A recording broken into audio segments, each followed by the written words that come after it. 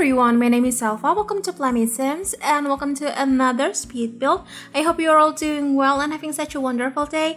So today we are building in the world of Brindleton Bay because today we're building a pet whisperer house. I know it's kind of fun intended, but this house actually inspired by an old show that I watched when I was like, I don't know, teens, I think, or yeah, I think teens, called The Dog Whisperer. I think that's the right uh, title. I'm not sure though, but I will Google that later on and I put the right name if I was incorrect. But anyway, um, there was this TV show that I watched on, I think, National Geographic. I'm not sure, but I think it is basically he kind of like helps people to understand their dogs what the odds behavior their dogs have and those kind of things. So i want to build something inspired by that story. So this is the house in brindleton bay of course who dedicate their lives to help people with their pets. I think it's a beautiful story though. So it's either cats or dogs or whatever because up until now we only have cats and dogs as the pets. But we'll be getting chicken and i don't know cows. And i'm not sure are we able to have um, foxes and what is the other one? Rabbits as pets or no? I'm, I'm not sure. I mean with the new expansion pack that will be released in about two weeks from now, I think. So that's the background story and to be honest, I don't know what kind of style this house is. I think it's kind of a it's kind of a cabin but a little bit modern, but it's not too modern though. If you're an interior designer or maybe an architect, Please let me know what type of style this house is because I am not either of both. And I just tried to building something that looks decent and that's it. So um, this is a one bedroom, one bathroom situation here, but this house is quite long and I think this is actually the first build that I've ever made with my new PC. I think it's not new anymore because it's been a couple of weeks now, but this is the first build, not the Brooks Lane family house one. This is the, actually the first one, but I only use um, base game, of course, cats and dogs, outdoor retreat, and backyard stuff pack on this build. So if you have those three and you want to download this build, you're good to go.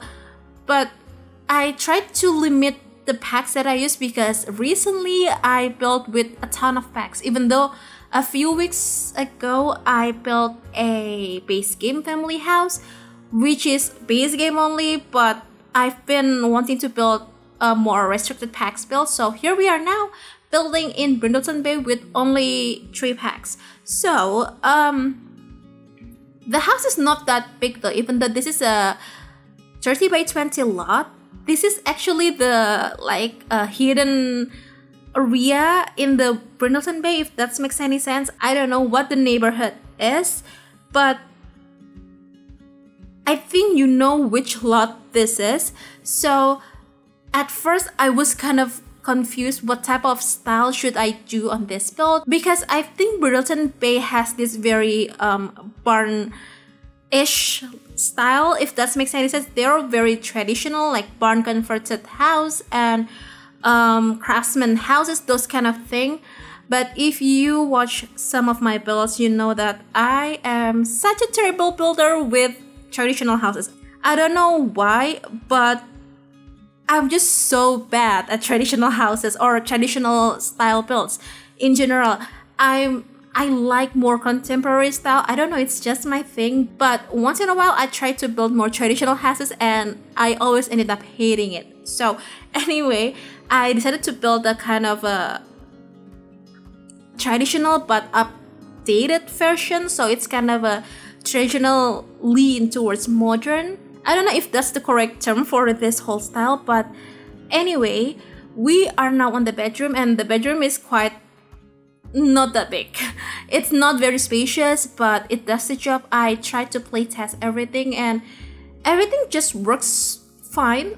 Not very surprisingly because I didn't clutter like crazy on this build. And also we have a huge backyard and side yard. Side yard mostly because I put this house on the or the builds actually on the um, side of the lot, not the very center. So you have a lot of um, part for, I don't know, maybe train the dogs or maybe to do some yoga if you have spa day. But I didn't put the um, yoga mat because this is a restricted packs build. So you can do that. But anyway, it didn't take me that long to finish this build. It only took me about one and a half hours which is quite fast because I've never built anything that I mean with base game and restricted packs build I tend to be a little bit faster and quicker with the builds. I think that's because I don't have a lot of options which is sometimes good but most of the times it's it's it's fine. It's not the greatest but it's fine. And here we are now on the side-ish yard side to backyard if that makes any sense. So I use this I think this is a debug fences I think I'm not sure but I think it is. So I put a lot of um, debug landscaping here because cats and dogs has one of the best debug landscaping ever besides um, the Windenburg one. What is that? Get together and also the base game and Batuu. I know that's very controversial, but I love the debug items, debug landscaping, especially from Star Wars pack. It's just one of my most favorite. But since a lot of people don't have that, I try to not use that that often.